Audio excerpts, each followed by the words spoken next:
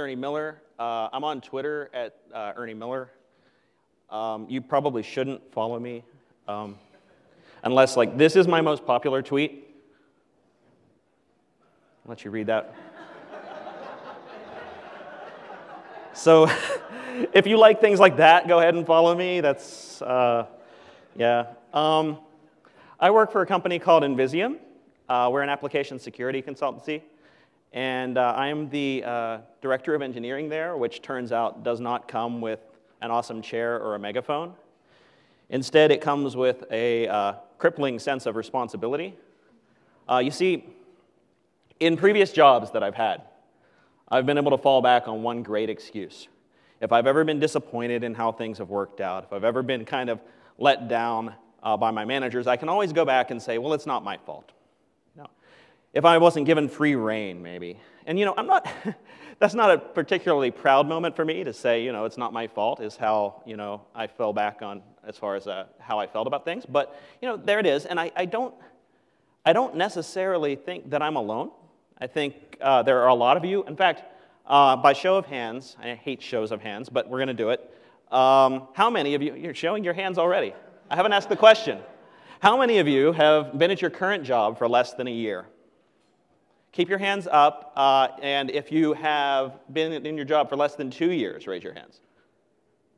Okay, so look around the room before you put your hands down. Realize that half the people in this room right now, fully half of the people in this room, have not been in their job for two years. Okay, you can put them down.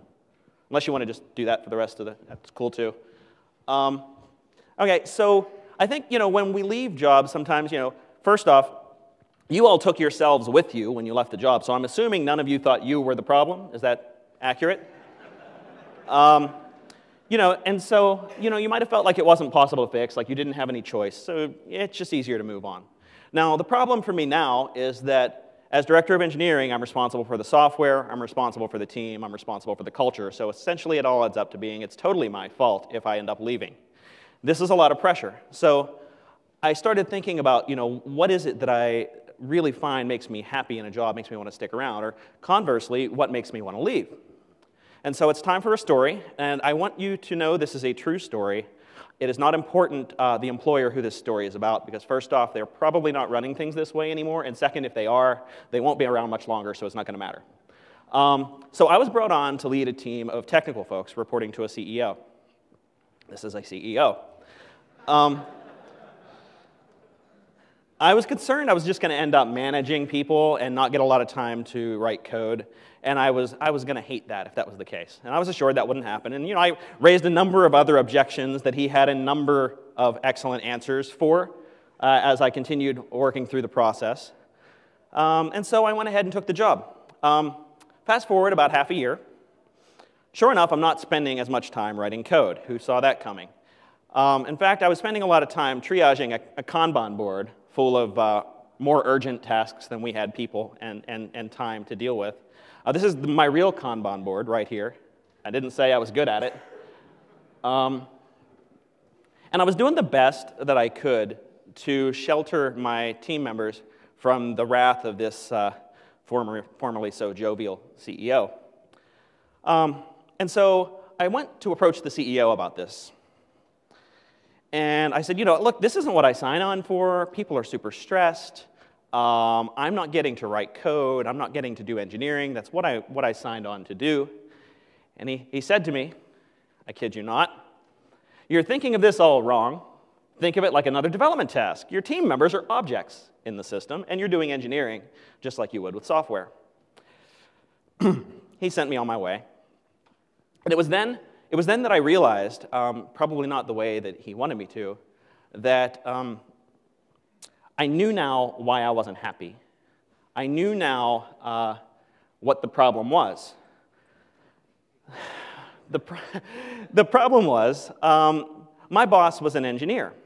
Uh, as a former engineer, he wanted to run the company like it was software. He wanted to treat it like it was uh, possible to engineer. But there may be a world where the answer to this, uh, this predicate is true. It is not the world that we live in. People are not objects, it doesn't work. So here, now, you can imagine, it's no wonder I was miserable. Here I am, I'm working at a company. Uh, my, my leader was actively working. He was telling me, like, I'm dehumanizing my employees. They're not humans, they're objects. And surprisingly enough, employees were overwhelmed. And so, you know, we were, again, overworked. We're trying to hire. Um, we couldn't hold on to new hires because, surprise, they had boundaries against manipulative and exploitative stuff like this.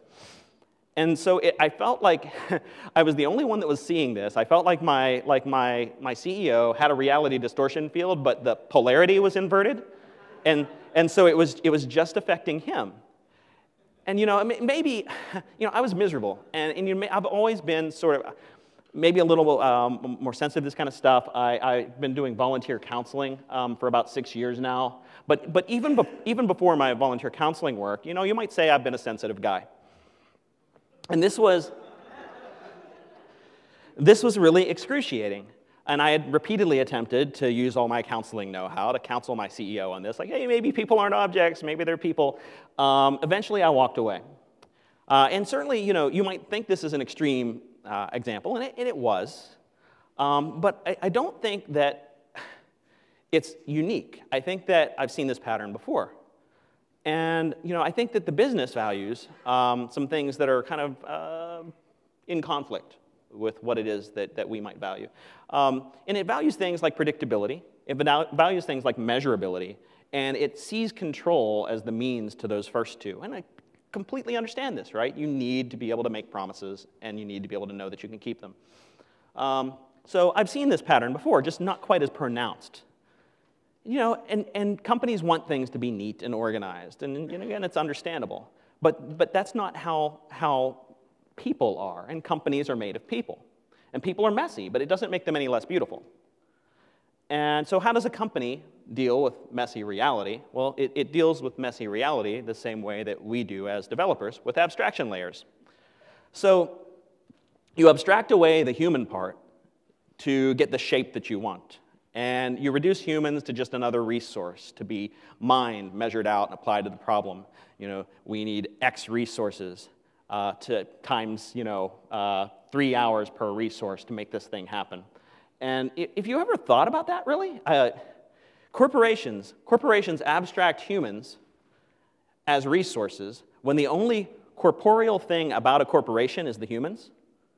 That's kind of messed up. And so, so the thing that I landed on, kind of the underlying uh, philosophy that I wanted to guide uh, the team that I was going to build and any team that I would want to work, work with in the future, uh, is pretty simple. It just needs to recognize that we are humans working with humans to develop software for the benefit of humans. Really deep, right? It's really deep stuff. Um, now, I don't pretend to say this is some, you know, mind-blowing revelation. What I, what I do say is that if you stick with me for a minute, there are things that kind of naturally arise from a recognition of this fact. And so I settled on the term uh, for this called humane development, um, mainly because uh, of what humane means um, humane is, is defined as having or showing compassion or benevolence. It's, uh, it has to do with inflicting the minimum of pain. These are all things that, that I think I would like to see in, in my workplace and in my coworkers. So I think it's in direct conflict sometimes with uh, something that we do today, or at least the way that we do it today. How many of you all do Agile today? Like really do agile, like like you're so like agile that it hurts. Like I so there's this talk, there's this talk, Uncle Bob gave this talk, The Land That Scrum Forgot. And it's really interesting because it's a bit of a history lesson on how we came to the, the, the term agile that we know today. Um, and I thought I would share a little bit of what he had to say in this, in this presentation as well um, because it's, it's really useful. So, so he said that he had sat down with Martin Fowler, and uh, you know, we should for, said we should form an organization. And uh, they set up a meeting and they sent out invitations, and they called the people that became part of this organization. You know, they called it the Lightweight Process Summit. And at that meeting, they came up with the term Agile. He says he believed that Ward Cunningham um, is the one that suggested we need some way that we to say what we believe without disparaging the old way of working. So to say that we value the old way, but we value these other things more. And so we landed on the Agile Manifesto. You all have probably seen this site before.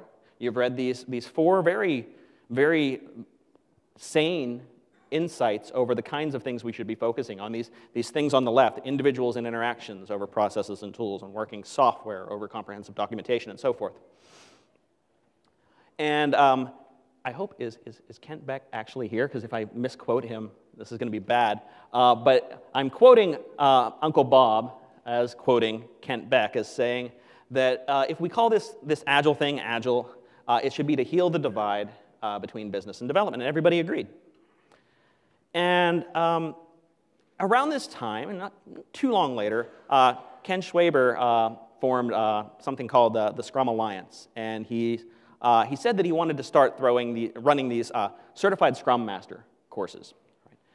And so this is really interesting. Um, he says that you know, the people that were taking the certified Scrum Master courses um, were not developers. In fact, he's a developer, uh, and he thought it was a stupid idea. Uh, who didn't think it was stupid? Project managers.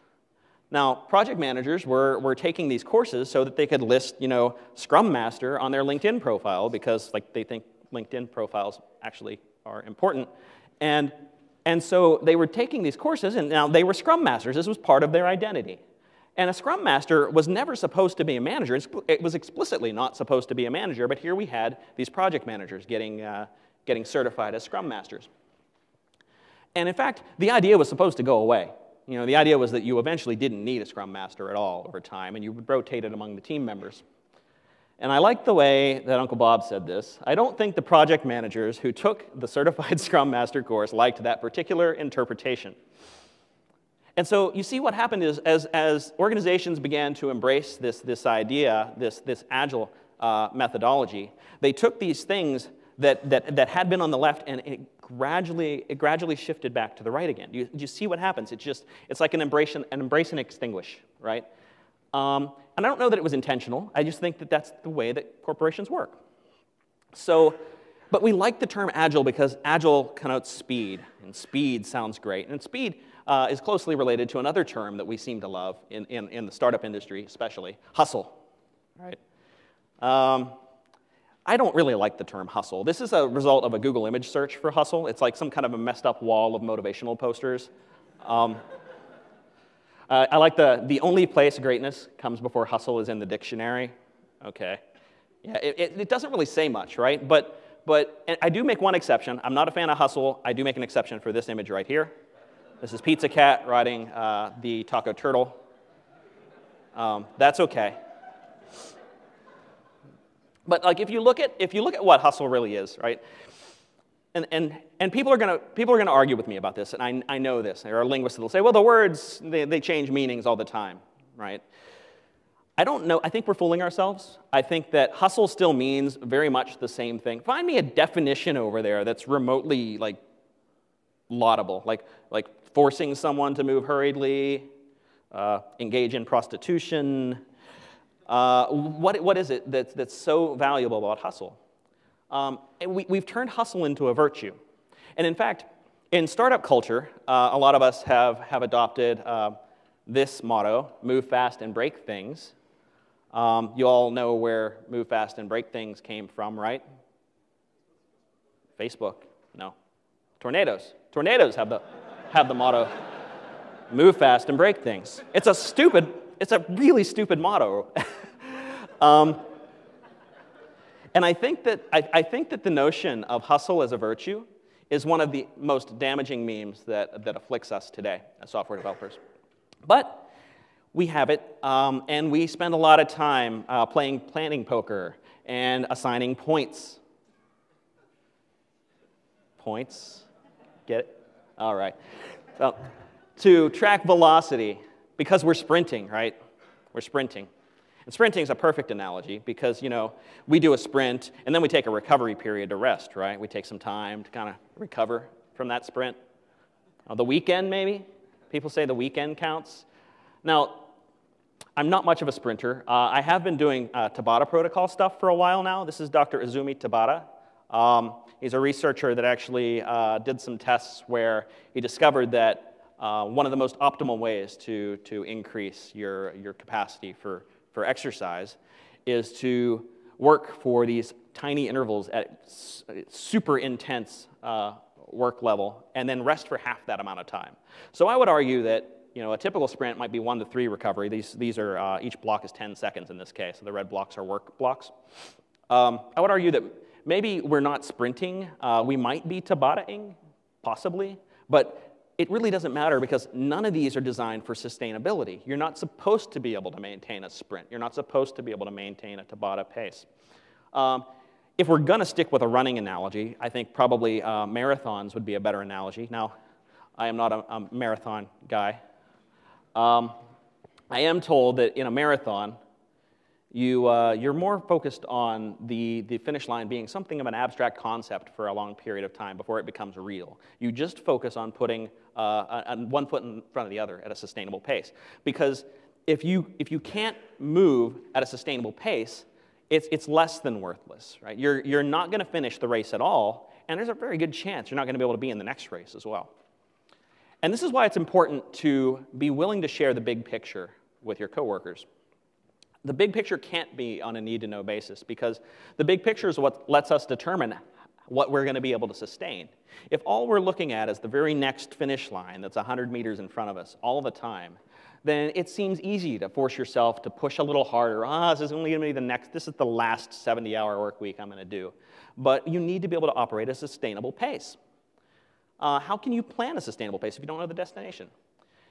So all of this tracks on to one thing, which is estimates. This is a, this is a photo of my, uh, my front uh, drive uh, in February. We had some decent amount of snow, which in Louisville, uh, Kentucky, where I'm from, is like anything more than two inches. Um, we, had, we had about seven inches of snow. I've, had, I've lived in this house for over five years. I've shoveled the drive countless times. I think I know how long it's going to take me. I think it's going to take me about an hour to shovel this drive. I'm relying on estimates from the, the weather person who says when the storm is going to stop. So I think to myself, I'm going to go out and get this knocked out in an hour. It should be stopping while I'm out there. Well, the, the snow kept coming, backlog kept showing up, and I kept shoveling. Uh, I still didn't really keep track on, of the time, per se, and I thought I was probably close to an hour when I came back in. Turns out my one hour estimate was two and a half hours of shoveling in my, my, this drive that I've, I've lived in this house for years. I've done it a million times. If I can't estimate something like that, where I'm concrete uh, results, how can I possibly be expected to estimate things that are abstract and that I honestly don't know until I start trying to build and that are subjective in nature? I can't. And that's why I believe that estimates are lies. And I think it's okay because it works out. Because they, we, we lie to ourselves about estimates, but most deadlines are lies too. So it's like, oh, we missed, we missed our estimate. Well, we'll just move the deadline. Well, then, was it a deadline at all? Why did we set that date to begin with? Um, and it's okay because most urgent things aren't really urgent. And this is why it's really important. It's really important to ask why. Um, the, the simple question of why is what gets you from a requirement to a reason or a rationale for what it is you're trying to build. And it's really easy in our hurry to say that it's just crazy to question why. We don't have time. But we all probably have stories of, uh, of some apps or features that we've written that uh, turned out didn't need to exist because nobody asked why we needed them. Um, and so it's actually interesting because, you know, you would say, well, there's, there's, you know, certain things that are obviously urgent, right? We can't waste time. Uh, in this case, like the site is down. Well, sure, it's urgent. So you ask, why, but why is it urgent? The bad answer is, well, because it's down. That doesn't tell us anything new. The, the good answer is to say, well, you know, while it's down, we're losing, what are we losing? Credibility, exposure, whatever. It's really important to know what's at risk so you can assign proper uh, uh, importance to the fix or the way that you might go around the fix. Um, in particular, um, my friend Pamela in her talk just before mine, she was talking about uh, sharing, I'm sorry, not Pamela, I'm sorry, my friend, my friend Kylie uh, was sharing uh, a story about how she had done some embarrassing things. Like, for instance, say the wrong friend's name. And, um, Uh, when I was first starting out, I worked uh, as a sysadmin at an ISP. And this ISP, um, we don't have, I mean, maybe 20,000 customers, something like that. It was small. Um, there was a customer who had an issue with his mail spool. Now, we were using uh, uh, Maildir mail spools, which not relevant for the purpose of the story. Just know that you have to remove a directory in order to actually remove somebody's mail. Um, we had to clear out the guy's mail spool, so um, I go into a directory, IRM-RF, the directory that I think I'm doing. You probably know where this is going. I was, I was uh, a directory higher than I, than I thought I was. So because I acted with urgency, I now fixed this person's problem and also the problem that nobody else knew they had, apparently having mail. Um, yeah, yeah, so that's my embarrassing story. Point is, is if I had approached this with a little more of a sense of, you know, what was at stake, there's a good chance that I would have been a little more careful as I did it. Uh, it's really important to know what you're, what you're standing to lose as you go about your tasks with urgency. Um, deadlines are a little trickier uh, than urgency in that you often get these kind of recursive non-answers. So, so you, you ask a question like, uh, you know, why do we need a feature by March 20th? And instead of getting an answer, you get, well, we need this other feature by, by April 20th. Well, that's helpful. And you keep asking why, you get the idea. It keeps on going. Uh, and eventually there might be a real reason somewhere there, but you're not going to get it uh, in, in very short order. It's really important um, to, to kind of combat this by asking for the real, the real reasons. And you don't get there um, as long as you believe in a divide. Um, and the, I believe that the divide is a lie. And that is, the first step to healing the divide is to realize there really isn't one to begin with. And the, what's generally there is one that we've created. You know, we're, we're the tech elite and the stupid business people, they don't understand, right? And, and, and we owe this sense that there is a divide a lot to our own behavior. Um, we have to remember that we're humans working with humans to develop software for the benefit of humans. It means there's no us. We need to understand why the business needs what it needs in order to better address their needs, in order to better be able to give them what they want instead of what they ask for. Sometimes they don't know, but we need to actually begin to, to, to ask the questions. There's no them either. The business needs to understand the kinds of trade offs that they're asking us to make. Whenever they're asking us to, to sprint really hard in this next iteration to hit something, they need to know what we're giving up. They need to know that maybe we're going to make some uh, technical debt along the path to this as well that we're going to maybe regret later. Um, we can't reach this sort of um, shared understanding uh, with just a mission statement. Companies love mission statements, giving people, you know, uh, a statement that everybody supposedly can get behind. Usually they, they say a bunch of nothing. Uh, they don't build the kind of shared understanding and appreciation that we really need. What we need to have is empathy. What we need to build is empathy, both for our coworkers, for our stakeholders, for our customers, whatever you want to say. And if you have empathy, then it's a lot easier to reach something else that's super important, and it's honesty. Um, nobody wants to be told because I said so whenever they ask why. Um, we're going to be a lot more likely to say, well, because of thus and such reason, if we have empathy for the people that are doing the asking. And if we get attached to setting arbitrary deadlines, is it really any surprise that oftentimes we end up with implementations that reek of feigned ignorance at best, uh, malicious compliance at worst? Dishonest deadlines encourage smoke and mirrors implementations because they're reinforcing the idea that it's more important to adhere to the deadline, to the timeline, than to actually build the right thing the right way. And so eventually, your business is going to look back and say, oh, why are we failing? We, we, we hit all of our milestones right on time. And of course, there's another solution you can approach to this problem, which is to engage crunch mode, right? We cram all the necessary amount of work into the shorter amount of time. It's one approach. Uh, the problem is that crunch mode should and should be and is an exceptional situation. We should handle it as such. If I showed you code that looked like this. You might say, well, that looks like you're using exceptions as uh, flow control. You know, we're rescuing our timeout error just by sacrificing our time and sanity. And look, swallowing an exception and, and, and getting the same result uh, is not really helping. In the event that we do have to use crunch mode, we should consider it an exception. We should conduct a post-mortem the same way that you know, production error would trigger it. And it's okay that we have heroes, but I'd rather live in a, in a world where we don't need to use the heroes.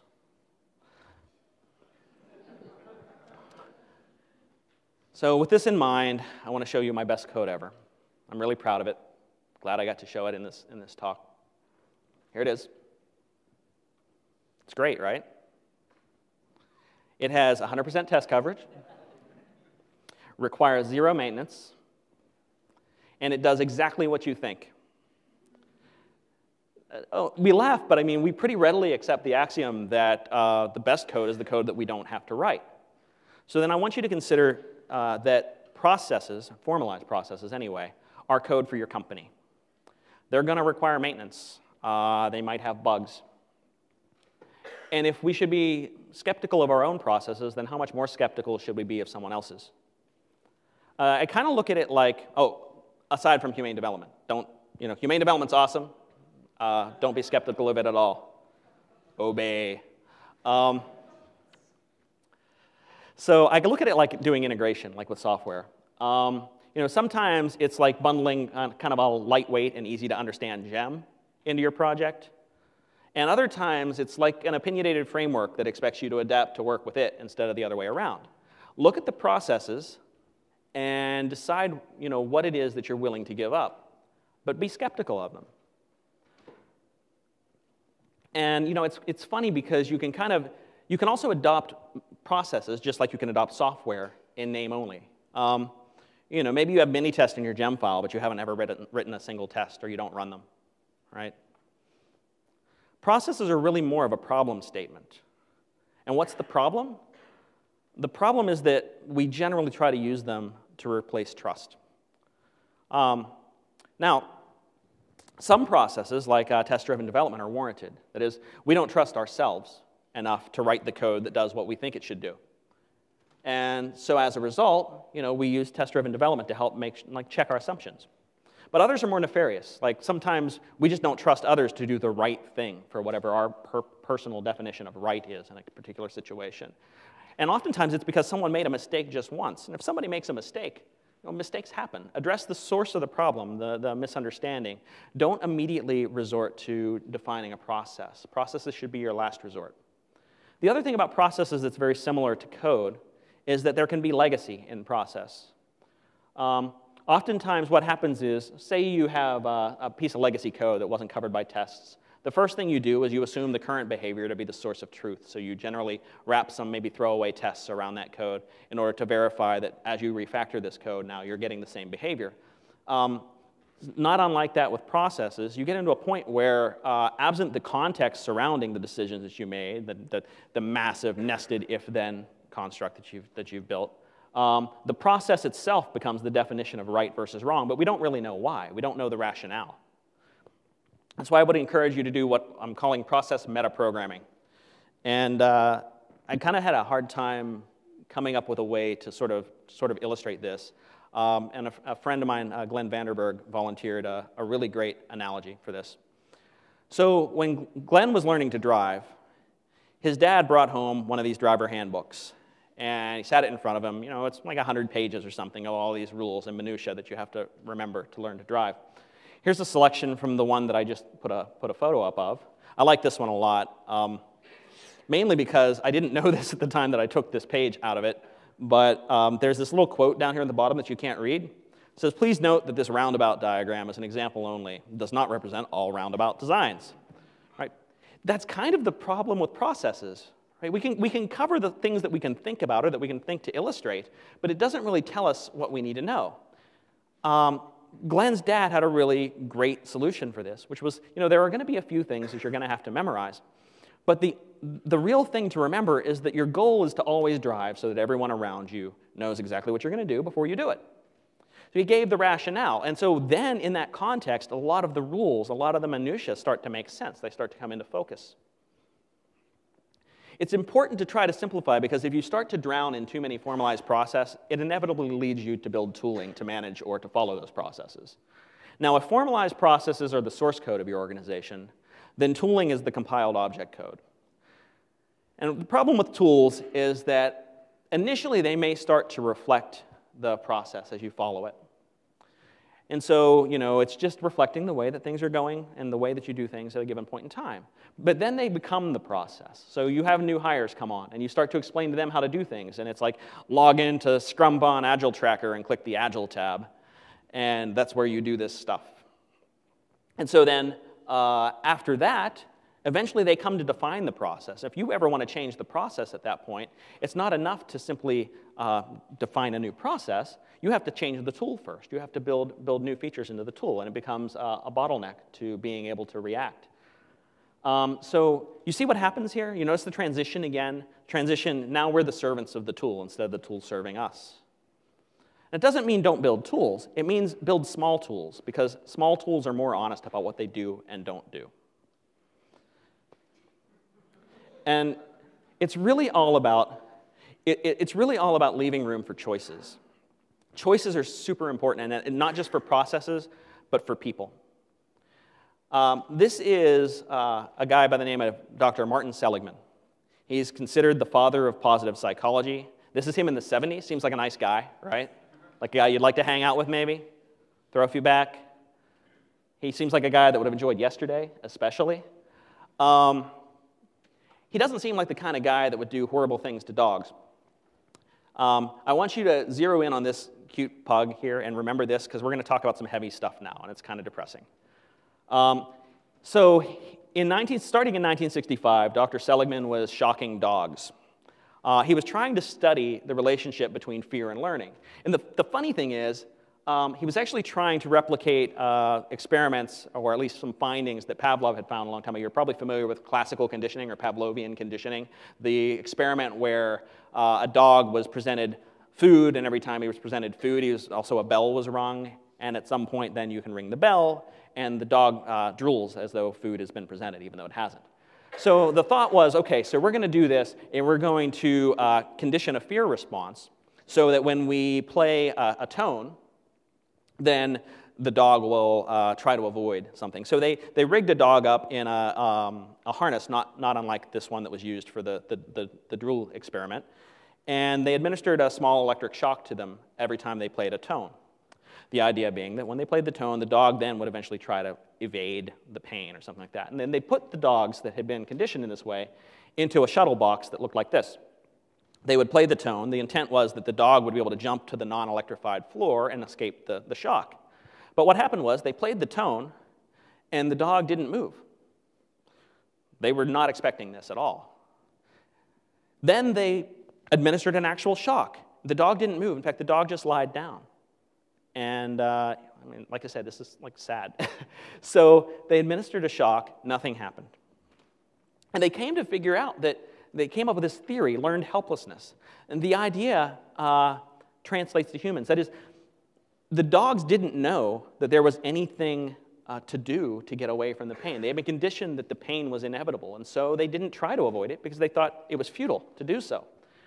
Um, doctors later, uh, Dr. Uh, Ellen Langer and Judith Rodin, uh, duplicated some of these findings with people in uh, a nursing home they, uh, they actually did this. Uh, this is a wonderful title The Effects of Choice and Enhanced Personal Responsibility for the Aged, a field experiment in an institutional setting. They were set up in a nursing home where they had two floors. And in one floor, they were telling patients, you know, you're responsible for yourself. You have uh, freedom to make your own choices. And they, they went around with a cart of plants, and they let everybody pick a plant if they want one and they would take care of the plant. And in the other, in the other floor, you know, they emphasized how much the staff was responsible and how, how uh, we would make the choice for you. And by the way, you all get a plant and we're going to take care of it for you. And it turns out that in nearly every way that they could measure uh, happiness and healthiness and every sense of well being, the people that uh, were given some choice over their condition thrived compared to the ones that didn't. And now you might, it, the, funny thing is, the, this is the thing. It's all about choices, having the choice. And you have to perceive there to be a choice. That dog had a choice to jump over the, over the, the, the shelf and to be over in the place where he wouldn't feel pain, but he didn't know it. And people are the same way. And so you might say, if you're a boss, well, everybody's got a choice. If you don't like it, leave. I think that's an absolutely horrible thing. That's a, that should be a last resort. If somebody's leaving to get away from you, you've already lost. It, a lot of people don't even feel they have that power. There's lots of barriers to leaving. There are financial barriers, there are relational barriers, there are emotional barriers. In my case, I had relationships with a lot of my coworkers in this previous job that I was in. And I felt like I was abandoning them to this, this boss that I knew didn't have their best interests at heart. And it was really upsetting to me. And when I actually left, when I knew I was doing the right thing by leaving my job, I still dreaded calling my CEO. And he predictably, he made me feel like utter crap, like I was letting everyone down on the team. I can't believe you would do this to us. So that's enough depressing stuff. Dogs shocking and, and, and learned helplessness and abusive bosses. You might have noticed that last, that last photo was a little familiar if you, if you like Twitter, like me. My favorite Twitter account is PHP CEO. And that was the PHP CEO uh, model. But for purposes of this exercise and to cheer us all up a little, I want to, everybody to suspend disbelief and let's pretend that the model that is used in the PHP CEO avatar is in fact the PHP CEO. Did you know that the PHP CEO likes ice cream? Stock photo sites, they just never, never get old. Gift that keeps on giving. He really likes ice cream, seriously. So, the funny thing about this is the real shame is software developers have probably some of the least reason to feel helpless. I mean, we, we can work at any time, anywhere, and in so many different ways. So many ways can work. And if you're a, if you're a manager right now, you might be saying, there's no way I'm going to let my team work just anywhere, have all that flexibility. That's, that's hilarious that you think that would happen. But there's a reason that we've been talking about some of these concepts, this empathy and honesty and trust, and it's that they're, they're interrelated. You, you, you, they're a progression. You move from empathy to honesty to trust. And eventually it gets you to a point where you can actually relinquish control and grant autonomy. Autonomy is the goal. And it's not just for us as developers that that's valuable, but a manager, the best managers don't want to spend all their time managing. They want people that can self manage to some degree. And so it's ironic then that we hire thought workers and then tell them to shut off their brains. And so let's just for a moment assume that my, my horrible boss was right and that people are just like objects and, and it's object oriented programming, baby. Well, the funny thing about that is that object oriented programming was never really about objects, it's all about messages. You know that. Everything about your organization is encoded in the communication between the various people in that organization. And processes are and should be reusable messages. The good ones are, anyway. They, think of it like a compression mechanism. You see the same message a ton of times, then you find a way to make the repetition unnecessary. But it's still just a message. It's about increasing the SNR, the signal to noise ratio, so that the messages that need to get through can get through. There's room for them. So we're trying to figure out ways to be more efficient in communication, and this is why I think that the requiring developers to work on site is a joke. Right now, uh, we have the ability to communicate in incredibly high bandwidth with, with each other, even when we're not in the same room. And honestly, it's much more beneficial for us to know how to choose the right channels to communicate over, whether or not we, uh, we happen to be in the same room. If you're an efficient communicator, you're going to be that much more helped on the cases when you are in the same room, right? It's, silly to try to substitute throughput for efficiency. They, they can live together. And, and honestly, if we can't communicate, we've got problems because programming is a form of written communication. And if you fail at communication, you might end up with these guys. These, these are the guys that are omnipresent. They're, they're on that email thread someone started within five minutes of receiving it. They work 13 hour days. They, they, they are afraid they're going to miss something. They're hanging out in chat all the time. And they commit code they couldn't get to during the workday at 3 a.m. Maybe they're in some kind of a sleep deprivation study. I'm not really sure. Often they just think that if they're not around, they're going to miss something and the company's going to suffer. In any case, the worst ones are the ones that actually just love playing the hero. Side note, apparently you can turn your head independently of your neck. I'm looking the wrong way in that photo. Uh, the point is, they want to make sure everybody knows that they're working the hardest. These people are organizational morphine. They mean well, but they mask the pain that the company should feel. The fact is, um, you need to feel pain in order to have change. You need to actually experience the pain. It's fine to deal with something in the short term to eliminate some of the pain, but if you're habitually doing it, then you're preventing the company from learning a lesson or from growing. You're actually doing a disservice to your employer. So we do thought work. This means we're working when we're thinking. How do you measure that? This guy, he's doing some work. Looks like he's thinking. Is this guy doing really hard work? Is that what is, is how do we measure thought work? It's an honest question. I don't know. And you know, in creativity research, they actually refer to the three B's. Uh, you all have had this before the bathtub, the bed, the bus. You know, you, you have an epiphany in the shower, right? Places where you, you just get an idea because your, your mind is working on it. You're literally always working if you're thinking. Remind each other of that and watch each other's backs. Maybe encourage somebody to let another part of their brain do some work for a little while. And if you're a leader, lead by example. Try not to communicate off, off hours because people are going to assume that they should be doing the same. Try to take a break. Encourage people to. I just went on vacation uh, a little, about a week before I came out here. I didn't even take my laptop. My, my CTO was awesome. He was like, no, I wish I could make that mandatory for everybody. So these aren't really engineering specific values, this empathy and honesty and trust and autonomy. These are just things that make people good people. And so I realized that really I, I, need to, as, as a person who's looking to hire, I need to stop looking for people that I can control. And if you've learned to ask one question through all this, it should be why? And the answer is because that's not how relationships work. That's what I've got. I also have stickers, and I would encourage you, if you want a humane development sticker, to come on up and, and get a sticker and you know, a free hug or whatever you want. not whatever you want, I mean, hugs. Violating the code of conduct on film.